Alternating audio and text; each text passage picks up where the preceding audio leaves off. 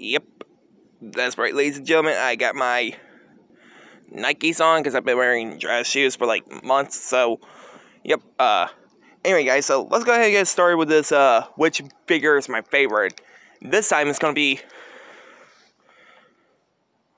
Kofi Kingston. So let's get to it. All right, guys. So which Kofi Kingston figure is my favorite? So we got this one.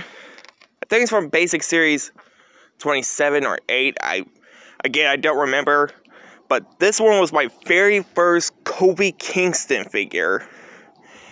And yes, this is like 10 years old now. Like almost about to be 10 because I bought this like 10 years ago at a Walmart. Yep, if y'all want to know which character this one he's uh, uh representing, it's actually Skeletor from Masters of the Universe. Which again, I really like not that huge of a fan of He-Man. Never cared for it. I mean, I'm sorry if I offended you uh, He-Man fans out there. So, yeah. Um.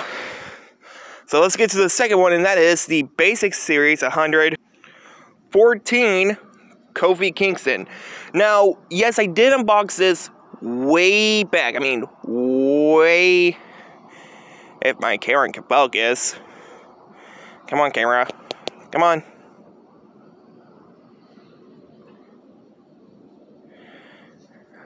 There we go. Well, there we go. So yeah, I bought this one way back of February last year, almost about like a year ago in 2022. Unboxed it, review it, and uh, yeah, what's really cool, it's actually like a coloring sheet reference, because you know, like how you color like, like number one, that's red, two, yellow, three, blue, four, green, five, orange, and all that. Thought it would be pretty cool to have this, and yes, this is actually my second Kofi Kingston figure, by the way. So, let's go ahead and tell you guys which one is my favorite. Okay, guys, so the one that's my favorite, it has to be the Mattel Basic Series 114 Kofi Kingston. Why? Because the coloring sheet attire.